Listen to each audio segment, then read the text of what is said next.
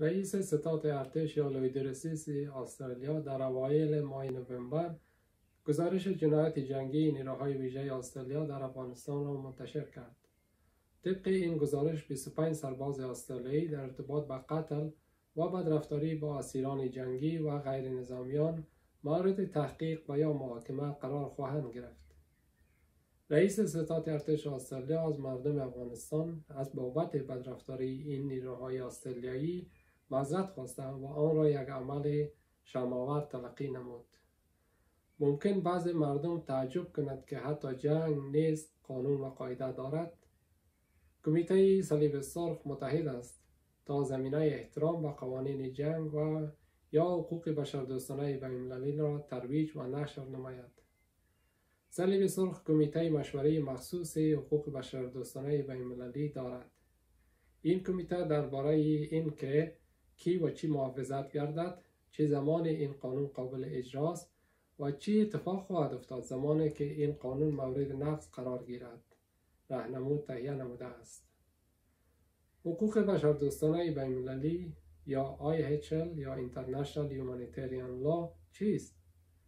حقوق بشردوستانه بینالمللی مجموعی از قواعد است که در صدد محدود کردن اثرات منازعات مسلحانه بالای افراد و اماکن می باشد. همچنان تحت عنوان قانون جنگ یا قانون منازعات مسلحانه نیز شناخته شده است.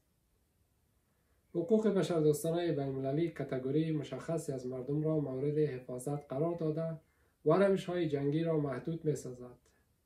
منابع مشهور این حقوق کنوانسیون های چارگانه جنیوا یا The Geneva Conventions of 1949 و همچنان پروتکل های الحاقی آن می باشند.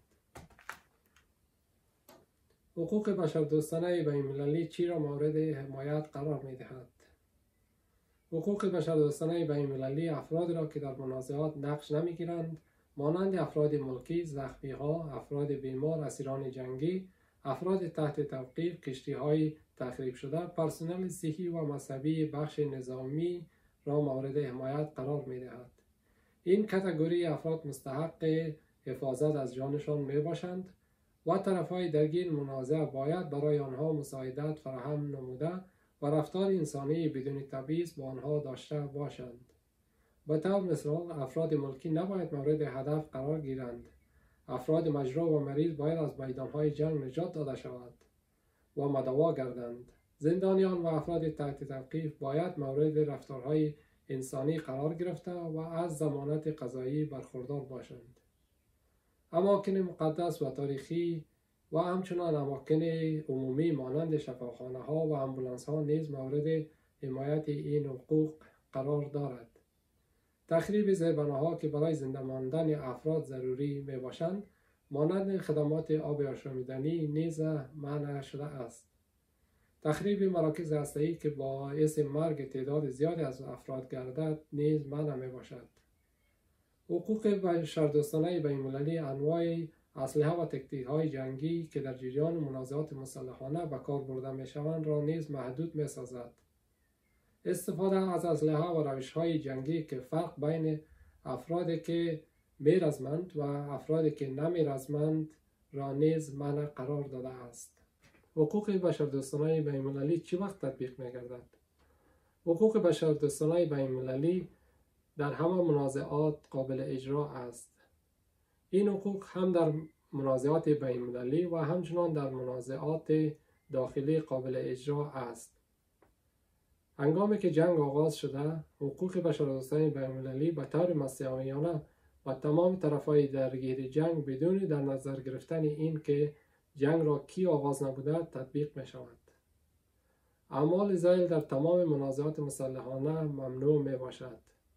قتل، تجاوز جنسی، شکنجه، تنبیه بدنی، گروگانگیری، مجازات گروهی، اعدام بدون محاکمه، رفتارهای تحقیرآمیز و ظالمانه زمانی که حقوق بشردوستانه بینالمللی نقض میگردد چه باید کرد کشورهای عضو مجبور با پیروی از این حقوق هستند و باید تمام توانشان را برای احترام از این حقوق به کار ببرند. همچنان تمام دولت ها ملزم و پیروی از این حقوق می باشد و باید از حقوق بشردوستانه بین المللی نیز پیروی نمایند. تخطی های جدی از این حقوق می تواند شامل جنایت جنگی و عاملین آن می تواند تحت تعقیب جزایی قرار گیرند. مسئولیت اولیه پایگرد قضایی آنهایی که متهم به جرایم جنگی هستند و دولت ها برمیگردد. در عین حال جامعه بینالمللی نیز محاکمات بینالمللی جرایم جنگی را تأسیس کردند. مسئولیت اولیه پیگرد قضایی آنهایی که متهم به جرایم جنگی هستند به دوش دولت ها برمیگردد.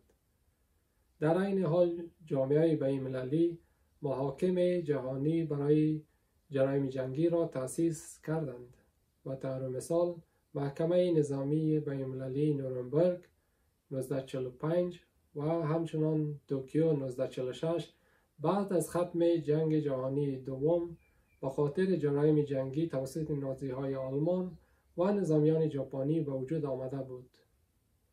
در سال 2002 اساسنامه محکمه بینالمللی جزایی یا ICC International Criminal Court لازم الاجرا گردید.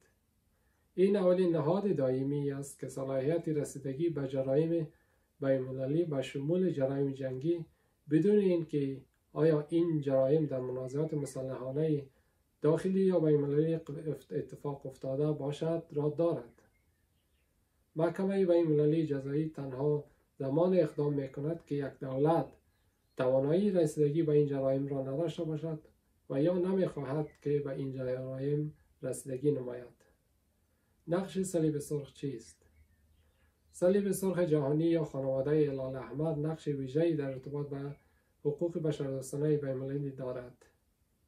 کمیته بین‌المللی صلیب سرخ یا ICRC به عنوان محافظ این حقوق شناخته شده و در عرصه آموزش برای تمام طرفین درگیر فعالیت می نماید.